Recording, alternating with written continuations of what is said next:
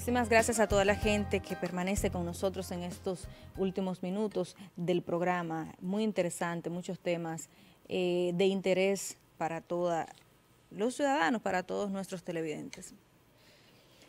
La verdad que observar el dispendio, el mal uso de los recursos, el mal comportamiento de los funcionarios en los diferentes niveles no solo a nivel de ministerio me refiero, si mueven la pantalla sería importantísimo, Junior va para allá, sería eh, en todos los niveles, cuando nosotros tenemos gente que representa, que representa a los ciudadanos, que son siquiera, que no son a través de cargos selectivos, sino que se supone que hay eh, una contratación de parte de un gobierno que se entiende, que quiere hacer las cosas diferentes, que quiere hacer las cosas mejor, que es el llamado gobierno del cambio, pero que aún vemos que continúan las prácticas corruptas, descaradas y vergonzosas de funcionarios, de gente que entiende que la institución en la que están fueron puestos para beneficiarse, para nombrar gente que no labora, pero que sí cobra por ese trabajo que está haciendo, o las conocidas botellas que aún permanecen en este gobierno y que ha continuado, ha continuado esta práctica derrochadora, descarada y avergonzante. Porque para mí no hay algo más avergonzante que usted cobrar o recibir un dinero del Estado por algo que usted no está, que usted no está haciendo. Cuando usted nombra personas que no hacen una labor en una institución. Usted le está quitando el dinero a cada uno de nosotros. Usted no lo está sacando del bolsillo. Cuando en una institución cualquiera que sea, INAPA, Educación, Edenorte, o sea, todas estas instituciones que son del Estado, cuando usted nombra ciudadanos que no van a trabajar, pero que los pone en una nómina, Usted le está sacando el dinero a cada familia dominicana. Usted está robando y usted es un ladrón, porque no hay otra palabra que no sea esa. Si yo estoy en una institución cualquiera que sea y yo nombro a un familiar, a un amigo, pero que no va a trabajar, yo le estoy robando al pueblo dominicano, yo le estoy robando a la sociedad. Nosotros no vamos a descansar en ver que estas prácticas descaradas se minimicen. Y un día será, y esperemos no sea muy tarde, cuando tú tienes esperanza o ideas de que las cosas van a mejorar o van a cambiar en un momento determinado porque eliges otras opciones de gobernantes, pero que ves que continúan haciendo lo mismo, porque como yo siempre he dicho, la gente del PRM no vinieron de Marte, no vinieron del espacio, son PRDistas que hoy son PRMistas. Y que como en todo lado hay serios, pero también hay muchos corruptos, como lo vemos día a día. Hay cosas y casos que yo sé. El dinero del Estado no es para regalarlo. El dinero del Estado no es para nombrar botellas. El dinero del Estado no es para sobrevaluar. El dinero del Estado no es para exaltar figuras, exaltar figuras. El dinero del Estado no es para pagar millones y millones de pesos en publicidad para que yo tenga que ver a un don ministro de educación en todos los medios. El dinero del Estado no es para que un señor ministro le entregue un autobús a un centro educativo y él salga en primera plana regalando el autobús, como que es su dinero que lo está haciendo cuando debería de estar resolviendo problemas como esos, que tenemos ya meses y meses y más de un año con esos problemas de esos concursos, donde miles y miles de maestros que se han graduado y que son profesionales y que quieren entrar al sector educativo estén pasando la de Caín y estén pasando todos los trabajos que se está pasando y que, que se estén dando todas las irregularidades que nosotros hemos venido observando que se han estado denunciando en estos dos procesos de concurso.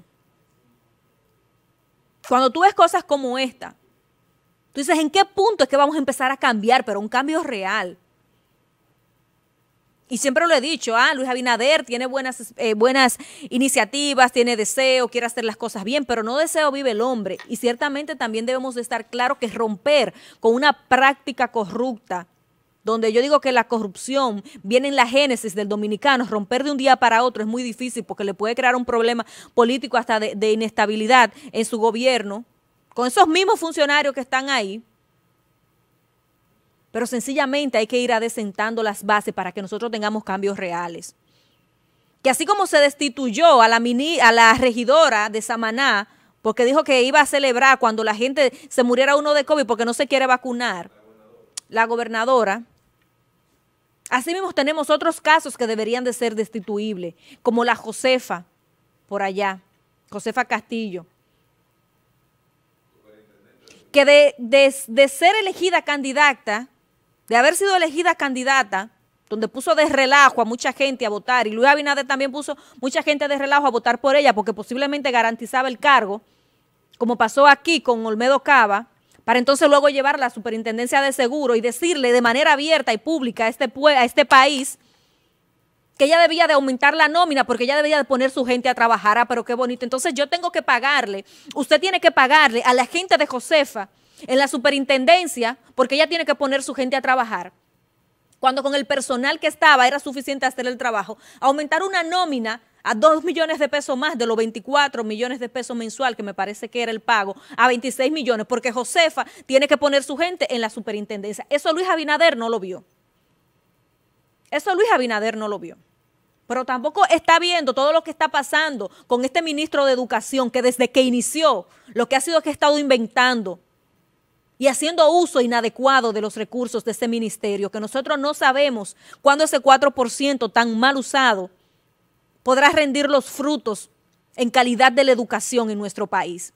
Duramos un año y pico, casi dos años, con los centros educativos cerrados y no se le puso la mano, como una escuela Paulina Valenzuela que tiene siete años, que ni el pasado gobierno ni el de ahora han podido resolver, pero duró casi dos años cerrados en los tiempos de pandemia y no pudieron tocarla. Entonces, ahora que inicia la docencia presencial, es que dicen que la van a, arreglar, a reestructurar. Entonces, tienen los muchachos que mandarlo al modelo virtual y dispersarlo por diferentes centros.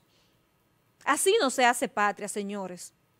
Pero me da tanta vergüenza, me da tanto coraje ver gente que desde que tiene la oportunidad de tener o estar en cualquier posición, por mínima que sea, lo que piensa inmediatamente es en cómo beneficiar su bolsillo, en cómo beneficiar su gente en cómo obtener garantías económicas, en cómo usar el amiguismo para poder llegar o escalonar a puestos donde hay gente que tiene años y años trabajando y que no ha podido escalar porque no tiene conexiones políticas o no anda tumbándole polvo a otro o no anduvo en campaña. Así no se hace patria. Nosotros debemos de seguir, debemos de seguir empoderándonos con estos temas y haciendo esas denuncias. ¿Cómo es posible que haya una nómina y ojalá y esto sea mentira o que se dé una explicación válida, certera. ¿Cómo es posible que usted tenga una persona cobrando en un ministerio o en un distrito donde ahí está la nómina y que esa gente esté por allá, por otro país? ¿Por qué tengo yo que pagarle de mis impuestos? ¿Por qué tiene tú, tú, tú que pagarle de mis impuestos a un don Juan de los Palotes que está en Estados Unidos cuando no está trabajando? Cuando ese dinero de ese don Juan de los Palotes podría estar yendo al Hospital San Vicente de Paul, donde hay de gente pasando precariedades. Cuando nosotros entendamos y conectemos la realidad y el impacto negativo que tiene el mal uso y el robo del dinero, porque eso es robar, repito, el mal uso del dinero, de los recursos, cuando nosotros entendamos el impacto negativo y el daño que se le hace a una sociedad, el robo del erario, el robo del dinero a través de las instituciones, los nombramientos, nosotros vamos, vamos a entender y nos vamos a empoderar y le vamos a decir a estos funcionarios corruptos, a estos funcionarios y encargados de instituciones en todos los niveles, porque no solo es a nivel de, ministerio que se da, es de sus dependencias, es de sus dependencias. Cuando un ministerio, por ejemplo de educación en todos los distritos, tiene gente cobrando fuera del país, tiene gente cobrando sin hacer nada, tiene gente tiene gente que por amiguismo político lo suben, lo escalonan de un puesto a otro, ah, pero qué bonito, y el otro que se lo lleve quien lo trajo. Entonces nosotros no vamos a avanzar como sociedad. Un país en subdesarrollo, con necesidades y precariedades económicas en todos los sentidos. De esa manera no progresa. Cuando no hay un régimen de consecuencias fuerte, severo, que si usted se roba 10 mil o, eh, o mil, dos mil millones de pesos y hace 5 o 8 años en una cárcel, pero sale rico,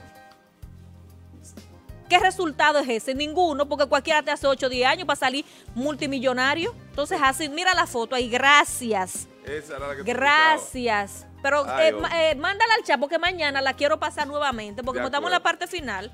Mire esto. ¿Por qué tiene eh, don el don ministro Fulcar que hacerse unas fotografías de relaciones públicas en la entrega de un autobús? No es que esté malo la entrega del autobús, es que él lo hace.